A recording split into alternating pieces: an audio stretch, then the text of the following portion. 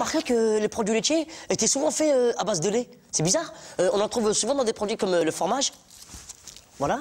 Dans des produits comme les meilleurs, tu sais, les meilleurs au lait. Plusieurs produits découlent du lait. Le lait hydratant pour le visage.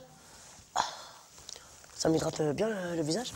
Le lait musical pour la musique.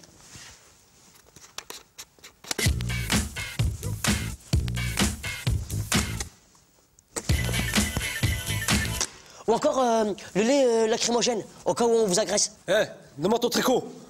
Alors, alors alors là, ça, ça, ça, ça m'étonnerait, ça. Ah, mes lunettes Voilà. Les produits laitiers, euh, des produits vrais. Hum. Maintenant, Jamel, faut que tu boives le lait. Et, pense bien à la marque euh, autour de la bouche. De- Hein, de- la marque de euh, lait. euh, D'accord. euh, Ouais. Très bien.